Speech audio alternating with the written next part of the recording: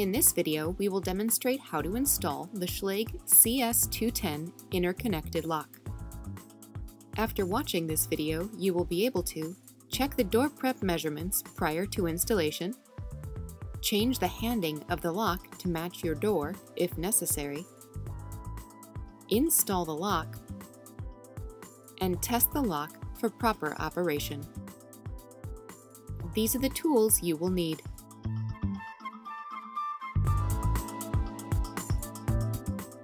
We will be installing the CS210 lock on a residential entry door and frame that has been prepped according to the template.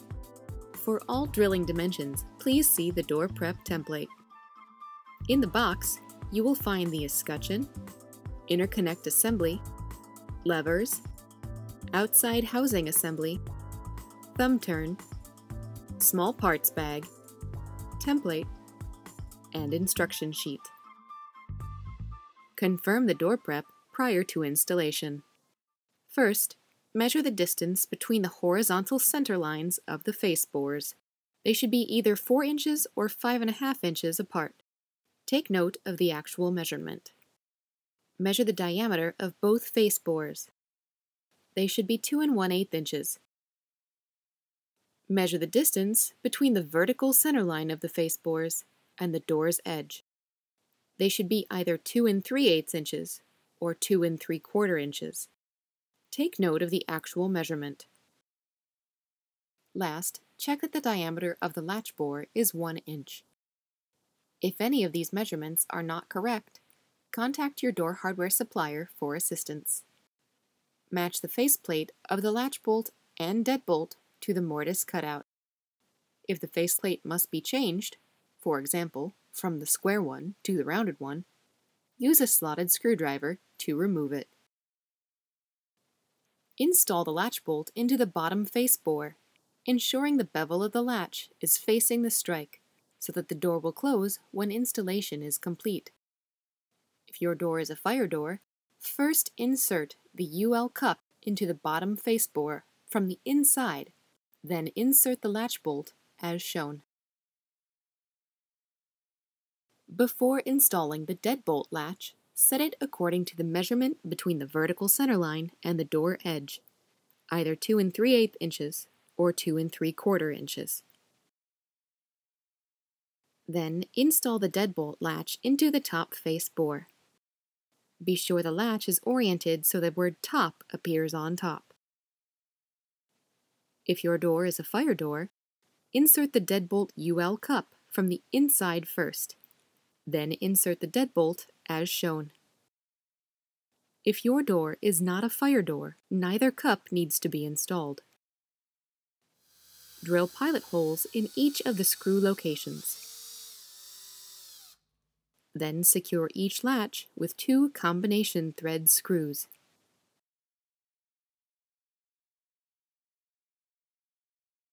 Determine the handing of your door. In this video, the door is right hand. See the instruction sheet for more information. If the handing must be changed, remove both levers from the inside and outside chassis by inserting the pin wrench and gently pulling the lever off as shown. Pick up the inside chassis and look at the side with the black horizontal piece. Note the screw holes in the two corners of the chassis one with a small letter L next to it, and another with a small letter R next to it. The screw and washer must be installed into the L hole for a left-hand door and the R hole for a right-hand door. In this video, the screw and washer must be removed and screwed into the R hole. Turn the chassis around and observe the small triangle-shaped points on the cam. For left-hand doors, they should be on the top and bottom, and for right-hand doors, they should be on the sides. In this video, the cam must be rotated so the points are on the sides. Next, pick up the outside chassis and set it so the spindle is facing up with the mounting screw holes at the top and bottom. The handing plate is labeled with an L and an R and directional arrows with the current placement shown appropriate for a left-hand door. For a right-hand door, use the screwdriver to gently pry the handing plate up, then rotate it 90 degrees and press back into position. The arrows should match the lever rotation. Reinstall the outside lever onto the chassis by gently pressing into place until you hear a click. Do not install the inside lever yet. This will be done in a later step. Before continuing, ensure the deadbolt is retracted. With the cylinder tailpiece oriented vertically, insert the outside housing assembly through the deadbolt latch assembly. Ensure the cam of the interconnect assembly is vertical. Then, place the assembly onto the inside of the door, ensuring the tailpiece fits into the cam as shown. Secure with the two screws. You may need to hold the outside housing assembly in place. If the distance between your horizontal face bore center lines measured 4 inches, remove the black plastic plate and screws from the interconnect assembly. In this video, the measurement is 5.5 inches, so the piece is left in place. To install the inside chassis, lift the plate of the interconnect assembly, place the chassis over the face bore, and lower the plate. Ensure the orientation of the chassis is correct by confirming that the handing screw is on the bottom edge.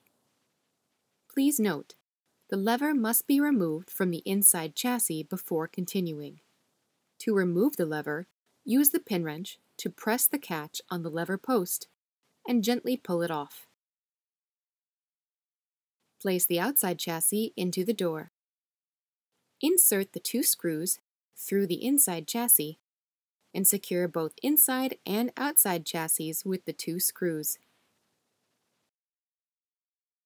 Place the escutcheon over the interconnect assembly.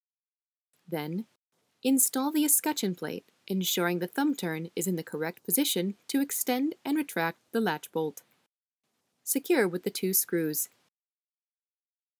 Please note, if the distance between your horizontal face bore center lines was 4 inches, position the escutcheon plate with the outermost hole on the bottom.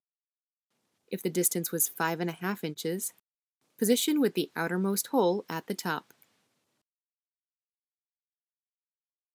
Install the inside lever using the pin wrench to depress the catch on the lever post as necessary. Install the deadbolt strike, drilling pilot holes and securing with the two screws. Then, install the latch bolt strike, drilling pilot holes and securing with the two screws. To test the operation of the lock, extend the deadbolt using the thumb turn. Then, turn the inside lever down and ensure the deadbolt and latch bolt fully retract.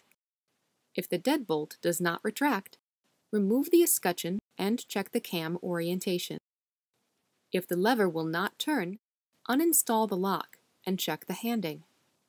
If necessary, skip back in this video to review the steps. Next, extend the deadbolt again.